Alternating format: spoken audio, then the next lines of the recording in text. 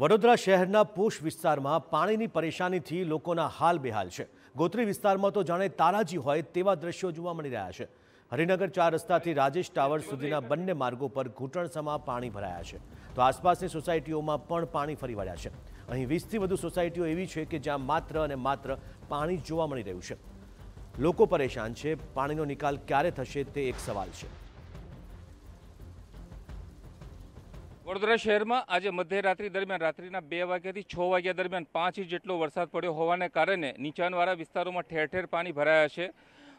Gotri post વિસ્તાર ગણાય છે અને અહીંની જે સોસાયટીઓની અંદર પણ વહેલી સવારે તો કેડસમાં પાણી હતા, ઘૂંટણસમાં થયા અને અત્યારે પણ આપ જોઈ રહ્યા છો કે મારા ઘૂંટણ સુધીના પાણી ભરાયેલા છે.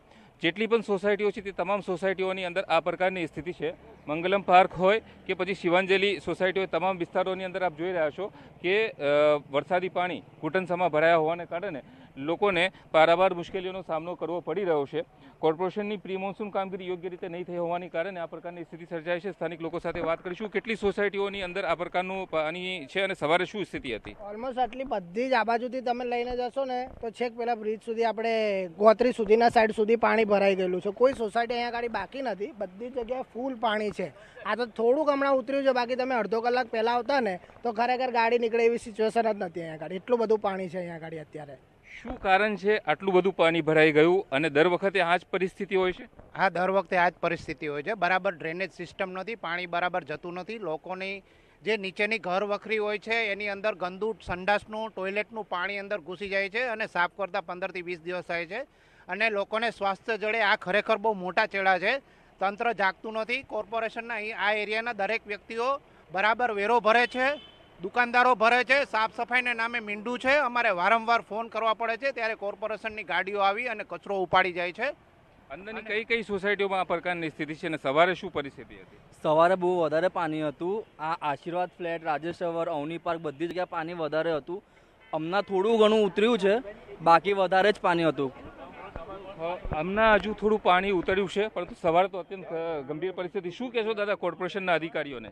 કોર્પોરેશનના હું છેલ્લા અઠ્યાવીસ વર્ષથી અહીંયા રહું છું. દર વર્ષે આની આ જ પરિસ્થિતિ થાય છે. અને કોર્પોરેશન એટલા બધા ખર્ચા કરે કે, હવે ભાઈ, તમારે માઇક્રો ટનલ બનાવી છે. એનાથી તમારે, આ વિસ્તારમાં પાણી નહીં ભરાય. પણ આ વખતે એટલા વરસાદની અંદર હું સાડા ચાર વાગ્યાનો ઉઠ્યો હતો. ત્યારથી અહીંયા લગભગ પાંચેક ફૂટ જેટલું પાણી હતું. આજુબાજુની બધી જ સોસાયટીની અંદર ઓછામાં ઓછું એકથી તે બબે ફૂટ જેટલું પાણી ભરાયેલું છે. અને આ છેલ્લા મારો અનુભવ છે, છેલ્લા ત્રીસ વર્ષથી આની આ જ દશા છે. એની અંદર કોઈ ફરક નથી પડ્યો. ગમે ત્યાં પૈસા ચવાઈ જતા હોય કે જે કંઈ થતું હોય તે, કોર્પોરેશન પોતે કાળજી લેતી નથી, એનો મારો પોતાનો અનુભવ છે. કોર્પોરેશનની કામગીરી સામે પ્રશ્નો સ્થાનિક લોકો ઉઠાવી રહ્યા છે. આપ જોઈ રહ્યા છો કે જે કોમર્શિયલ કોમ્પ્લેક્સ છે, તેની અંદર પણ પાણી ભરાયેલા છે, દુકાનો છે, તેની અંદર પણ પાણી ભરાયેલા છે. છેક આપણે હરિનગરથી જોતા જોતા આવ્યા. અહીં સુધી કેટલી દુકાનોને નુકસાન થયું? કેટલી દુકાનોમાં પાણી પડે દોઢસો, બસો દુકાન હશે. ત્યાં દરેક દુકાનનો સામાન અને દરેક ઘર વકરી બધી જ પરિસ્થિતિ ખરાબ છે. જેથી કરીને કોર્પોરેશનના સાહેબોને, અધિકારીઓને નમ્ર વિનંતી છે કે આ બધું આવીને કંઈ એનો પ્રોગ્રામ કરે અને ફરીવાર પાણી ના ભરાય, એના માટે કંઈ આયોજન કરે. સોસાયટી હોય કે કોમર્શિયલ કોમ્પ્લેક્સ હોય કોઈ પણ વિસ્તાર ગોત્રીનો બાકી નથી કે જ્યાં પાણી ન ભરાયા હોય. વહેલી સવારે તો અત્યંત ખરાબ પરિસ્થિતિ હતી. ધીરે ધીરે પાણી હવે ઓસરી રહ્યું છે.